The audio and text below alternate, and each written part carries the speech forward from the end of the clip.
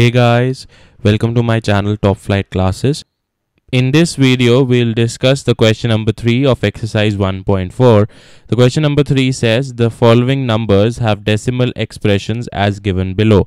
In each case, decide whether they are rational or not. If they are rational and of the form p by q, then what can you say about the prime factors of q? हमने पहले discuss किया हुआ है कि अगर हम decimal expansions की बात करते हैं तो अगर हमारे पास एक टर्मिनेटिंग डेसिमल एक्सपेंशन है, या फिर हमारे पास एक non terminating repeating decimal expansion है तो अगर हमारे पास ये दो डेसिमल एक्सपेंशन है तो उस केस में क्या होगा? जो हमारा नंबर होगा, वो एक रैशनल नंबर होगा।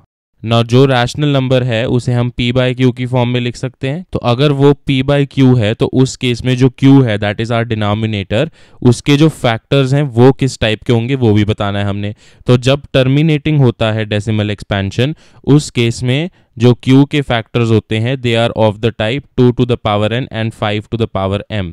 That means जब आप प्राइम फैक्टराइजेशन करोगे तो उसमें जो प्राइम फैक्टर्स होंगे, वो सिर्फ़ टू और फाइव होंगे। अगर हम नॉन टर्मिनेटिंग की बात करते हैं तो नॉन टर्मिनेटिंग में जो डिनोमिनेटर है दैट इज़ क्यू क्यू के जो फैक्टर्स होंगे, वो कोई भी प्राइम नंबर हो सकता है two three five seven eleven तो कोई भी प्राइम फैक्टर हम ले सकते हैं ऐसे, और इसकी कोई भी पावर हो सकती है। तो बेसिकली अगर हम नॉन टर्मिनेटिंग रिपीटिंग की बात करते हैं तो उस केस में the prime factorisation can contain any prime factor not only two and five बल्कि सारे के सारे हमारे प्राइम फैक्टर्स हम उसके अंदर इंक्लूड कर सकते हैं। तो अब इस क्वेश्चन में अगर हम देखें, जो क्वेश्चन का फ़र्स्ट पार्ट है फ़र्स्ट पार्ट के अंदर जो नंबर है that is forty three point one two three four five six seven eight nine ना वो यहाँ पे आके रुक गया दैट मीन्स यहाँ पे आके टर्मिनेट हो गया। तो इस केस में जो हमारा डेसिमल एक्सपेंशन है,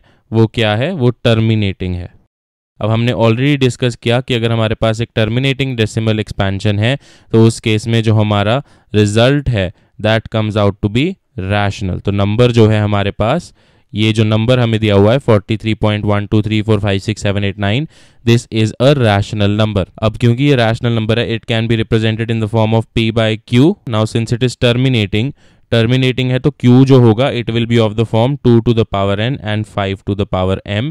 That means q के जो प्राइम फैक्टर्स होंगे they will only be 2 and 5 and that is what he is asking in the question he says what can you say about the prime factors of q and so prime factors of q are only 2 and 5 then in the second case the number that we have is 0.120 1 2 double 0 then we have is 1 2 triple 0 then 1 2 and 4 zeros and it goes on so it is a patterned form but if you can see over here यहाँ पे हर बार एक zero बढ़ता जा रहा है and it is going on it is not stopping it is not terminating so that means we have a non terminating form and also if you see clearly since हर बार एक zero यहाँ पे बढ़ी जा रहा है every time there is an increase in the number of zeros so therefore it is non repeating as well Now since it is non terminating and non repeating तो इस case में हम कह सकते हैं कि जो ये नंबर है इट इज़ नॉट रैशनल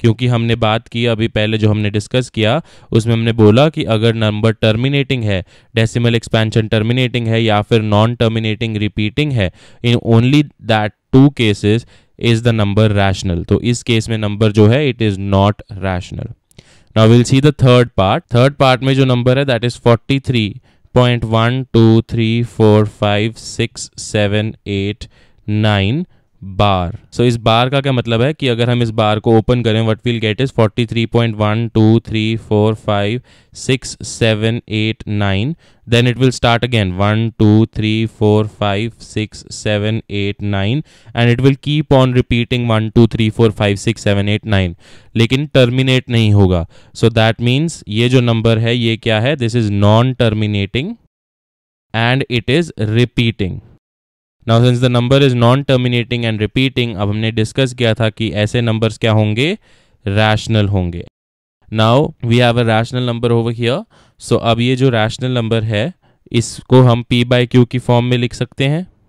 और इसमें जब हम q के प्राइम फैक्टर्स लिखेंगे so we have already discuss जब हमारे पास नॉन टर्मिनेटिंग रिपीटिंग का केस है then the prime factors of the denominator that is q can be any prime number तो कोई भी प्राइम नंबर यहाँ पे आ सकता है।